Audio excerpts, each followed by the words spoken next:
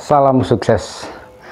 Masih berlangsung hingga sekarang ini bahkan sampai terjadi kerusuhan dalam demo tuntutan hak angket, pemaksulan Presiden Joko Widodo dan penolakan terhadap kecurangan pemilu. Demo yang rencana digelar hingga Rabu 20 Maret 2024 di depan KPU, Bawaslu, dan DPR RI. Penyelenggara demo itu berasal dari masa yang mengatasnamakan diri sebagai Koalisi Nasional Penyelamat Demokrasi. Tetapi saya melihat demo ini memang sudah terkoordinir rasanya tampak dihadiri oleh tokoh-tokoh nasional seperti Din Samsudin, Refli Harun, Adian Napitupolu, Masinton Pasaribu, dan beberapa tokoh lainnya yang juga ikut turun memimpin aksi demo ini. Coba kita cek dulu videonya.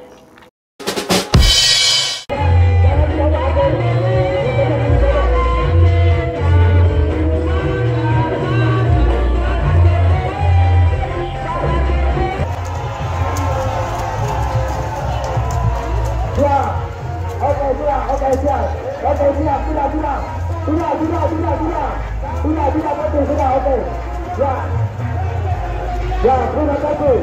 Itulah perlawanan rakyat kepada si baik. Jangan saja.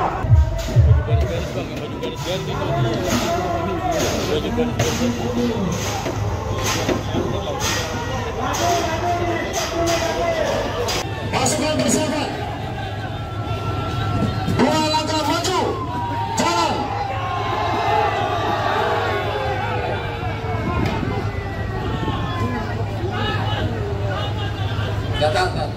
Ya kan? Kembali rapikan barisan, rapikan barisan. Tolong Pak,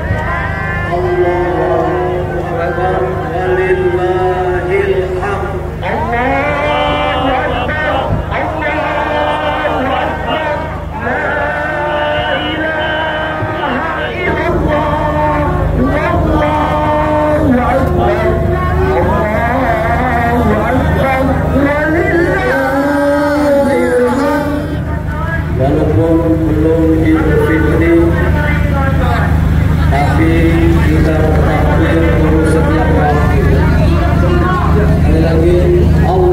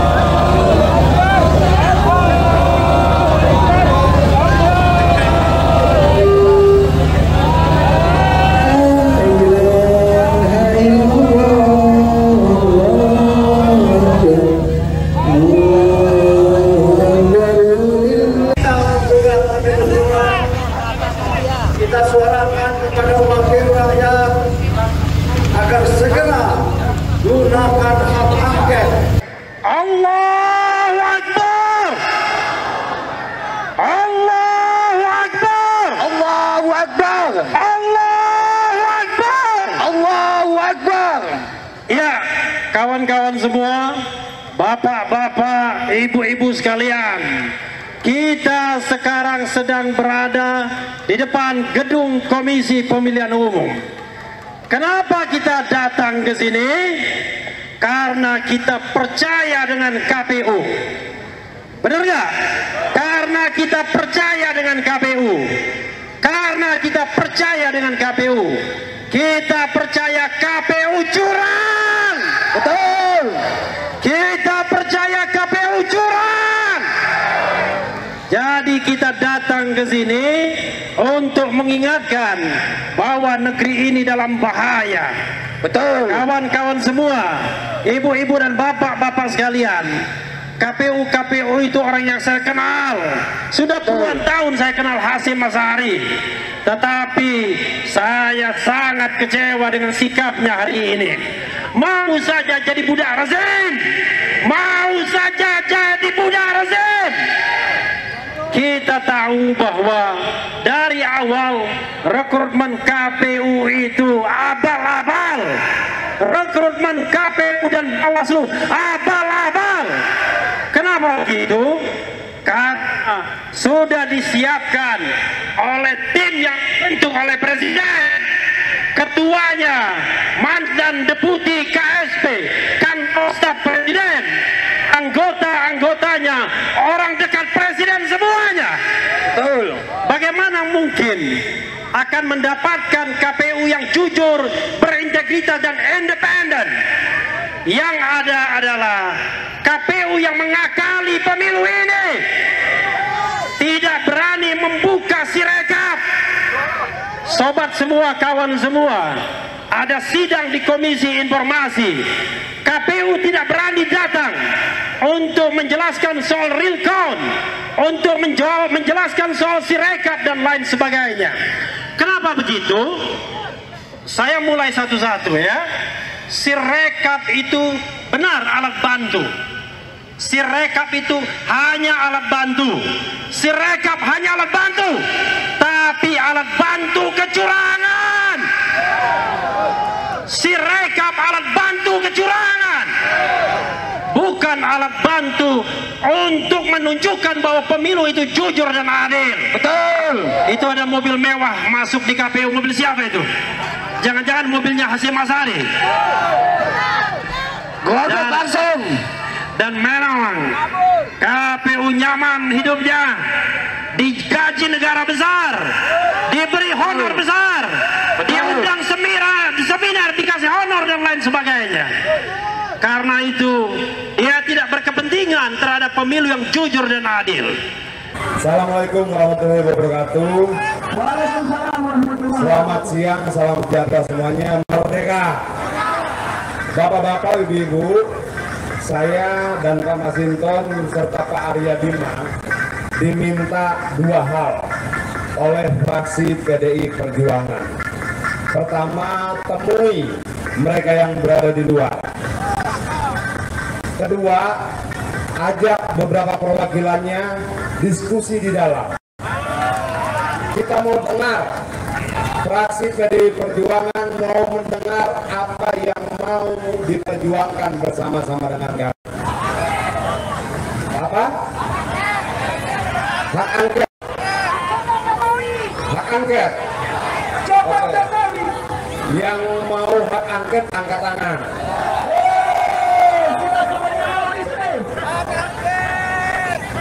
hak angket ini dasar pemikirannya bagaimana?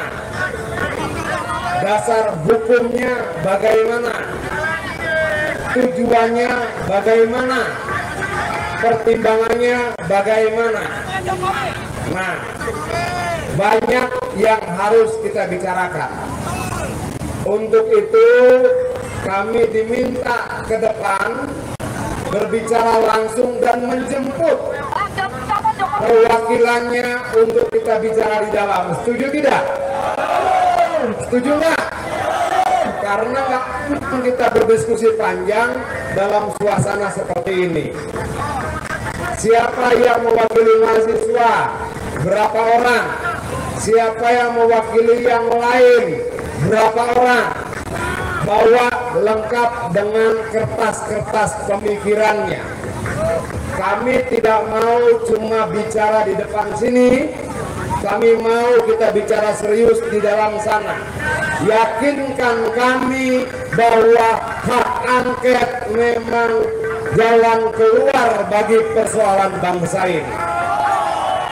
Yakinkan kami bahwa memang pilihan terbaiknya adalah hak angket. Yakinkan kami tidak cuma dengan jumlah masa, tapi dengan pemikiran-pemikirannya, dengan ide-idenya, dengan data-datanya. Untuk itu, saya, Pak Masin dan Pak Aryo Bimo diminta mewakili fraksi untuk berunding, berdiskusi, berbicara dengan perwakilan teman-teman yang ada di sini. Setuju? Boleh?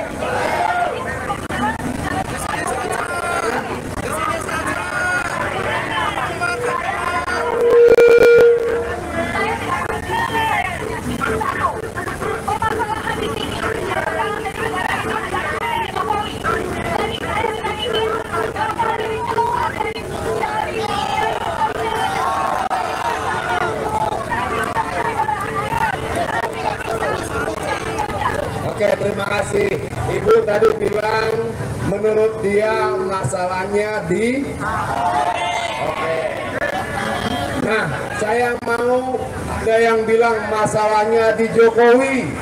Ada yang bilang masalahnya di KPU. Ada yang bilang masalahnya di sana, di sini, di situ dan sebagainya.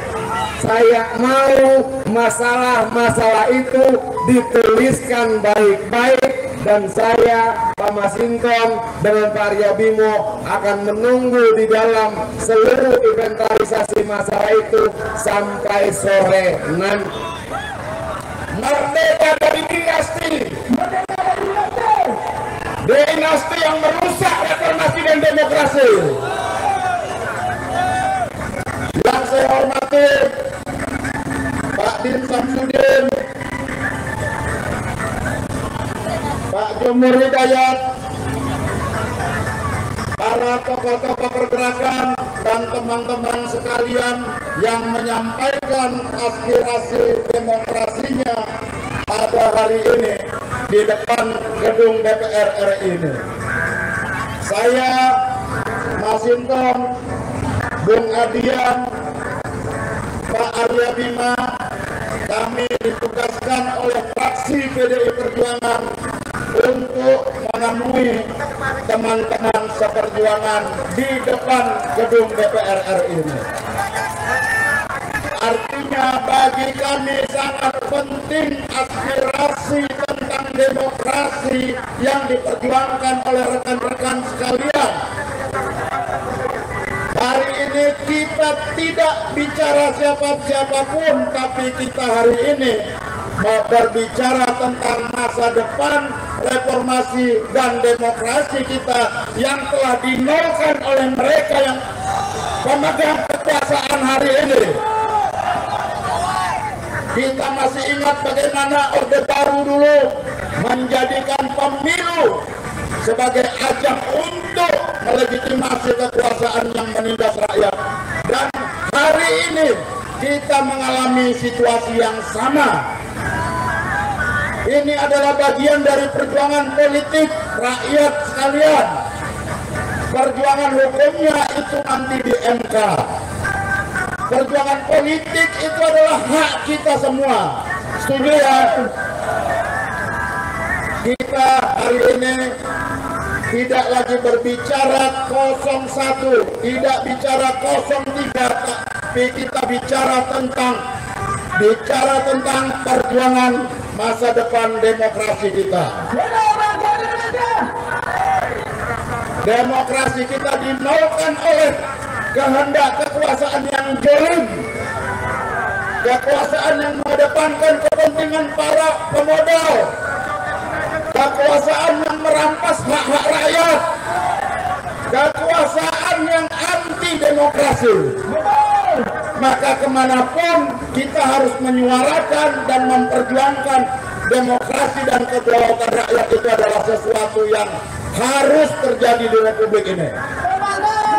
Siapa pun yang ingin menaikkan demokrasi, siapa pun yang ingin menaikkan reformasi, maka sejatinya dia adalah musuh kita bersama.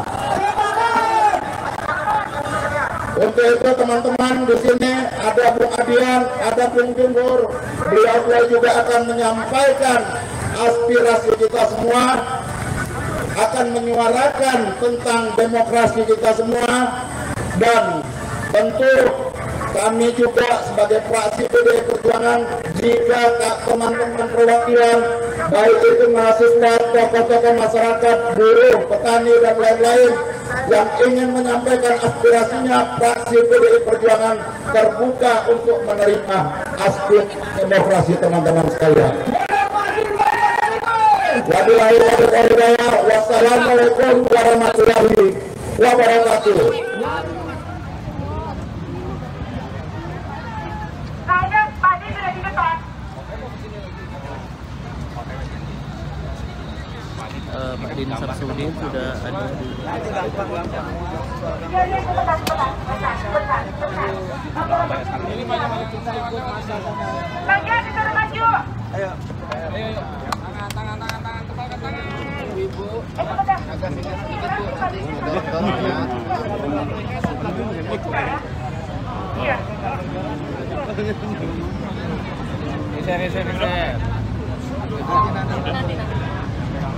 kangen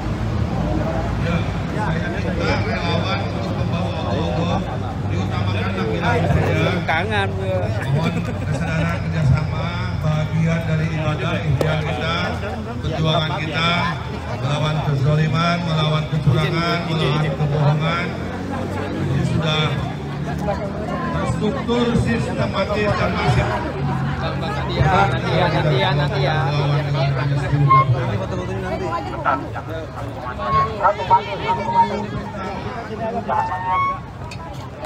Oke, Pak Adin Samsudin insyaallah akan memimpin aksi longmas dari flyover menuju Senayan DPR RI. Untuk itu kami menunggu perintah apabila para pimpinan nasional sudah siap berangkat, maka kami akan instruksikan untuk menyatakan mengucapkan Bismillahirrahmanirrahim. Aksi longmas dari flyover Senayan menuju DPR RI kita mulai. Silakan berjalan kepada masa aksi dibakar kalau bisa di belakang silakan bagian yang memimpin tapi tidak menghalangi spanduk-spanduk Jangan ditutupi. Ada ke sana. Ada ke sana. Spanduk jangan ditutupin, Pak. Mau foto-foto nanti, Pak. Ini saya ke sana. Bapak Ibu jangan di depan spanduk biar bisa dipoto. Di, di jaga jarak Pak. Jangan ditutupi, please. Biar ada media. Pak, Pak, Pak, jaga jarak Pak, jaga jarak, jaga jarak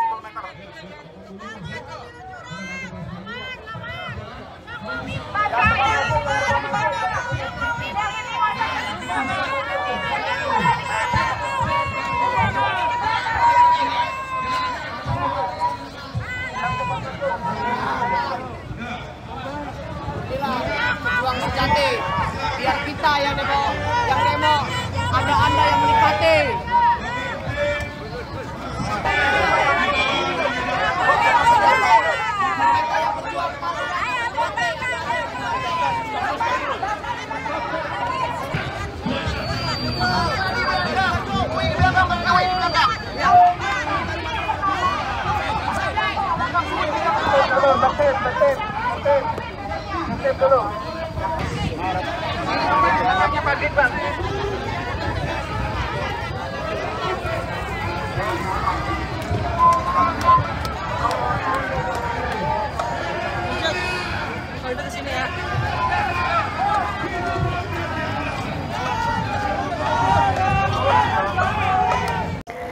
Itulah kira-kira videonya tampak dihadiri oleh tokoh-tokoh nasional seperti Din Samsudin, Rafli Harun, Adian Napitupulu, Mas Sinton Pasaribu dan beberapa tokoh politik lainnya yang juga ikut turun memimpin aksi ini. Lagi-lagi saya masih tidak paham dengan tuntutan-tuntutan yang aneh-aneh dari mereka. Padahal mereka itu juga termasuk orang-orang pilihan. Artinya mereka itu tergolong orang-orang yang pinter. Tapi ya itulah kembali lagi bahwa di Indonesia kalau mau cari orang pinter itu tidak akan pernah kekurangan. Tetapi kalau mau cari orang yang jujur itu sama mungkin sulitnya dengan mencari jarum di tumpukan jerami. Kalau dari kacamata saya, mereka sampai dibela-belain untuk turun dalam aksi demo itu karena tetap aja ujung-ujungnya adalah kekuasaan dan duit. Saya mencoba mengingat-ingat misalnya setelah terjadinya kerusuhan 98, mereka para tokoh-tokoh dan politisi ini baru sekarang ini langsung ikut turun dalam aksi demo. Bahkan sampai berorasi sampai juga memimpin aksi tersebut. Mereka berorasi dengan menggunakan istilah bukan karena masalah angka ataupun kekalahan, ini katanya karena masalah demokrasi. Pertanyaannya adalah kenapa mereka sekarang ini baru melek dan langsung berteriak demokrasi demi bangsa dan negara katanya. Semua partai politik dan para politisi apa pun yang mereka lakukan tanpa melihat itu baik atau buruk selalu menurut saya pasti mereka menggunakan dalil demi rakyat. Saya sendiri rasanya kadang ikut mual dengan para politisi yang selalu mencatut dengan nama dalil. Tapi ya inilah bagian dari warna-warni perpolitikan di tanah air kita. Saya cuma bisa berharap mudah-mudahan perpolitikan di tanah air kita ke depan bisa diisi oleh orang-orang yang benar-benar bekerja dengan hati untuk bisa mewakili rakyatnya sehingga tanah air kita ke depan bisa semakin menjadi lebih baik. Nah, demikianlah ulasan dari isi video ini. Terima kasih dan salam sukses.